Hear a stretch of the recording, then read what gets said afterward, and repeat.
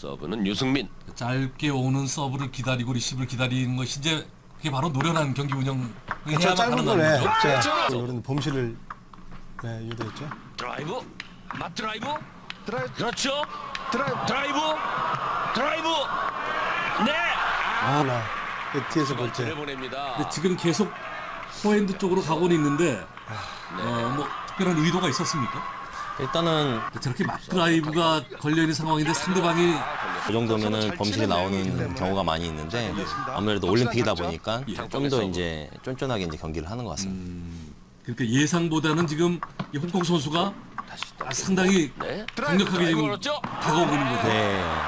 전혀 밀리지 않는 선수이기 때문에 또 더더구나 이제 탕평 선수 팀에는 이제 돌출라바여가지고 구질이 좀 까다로운 게 있죠. 예. 그래서 이제 좀 승민? 유승민 선수가 좀 어려움이 있었죠.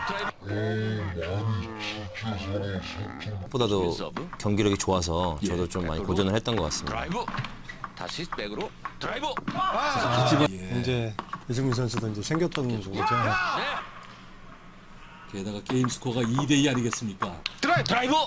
백쪽으로 가야 드라이브. 됩니다 백쪽으로 네. 하면 득점인데 또 미스할 확률도 있고 하다 보니까 드라이브 걸었죠? 네. 우리가 예. 경기 전반적으로 백으로. 승부처라고 봐야 드라이브 되겠죠. 백으로 막.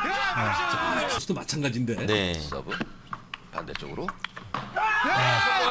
예. 대범실을 줄이고 드라이브. 아, 그게 끝까지 왔습니다. 다섯 그러죠. 번째 게임.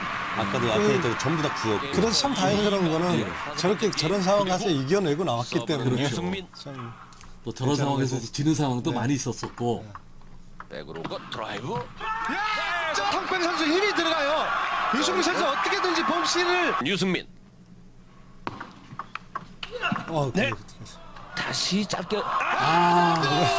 때문에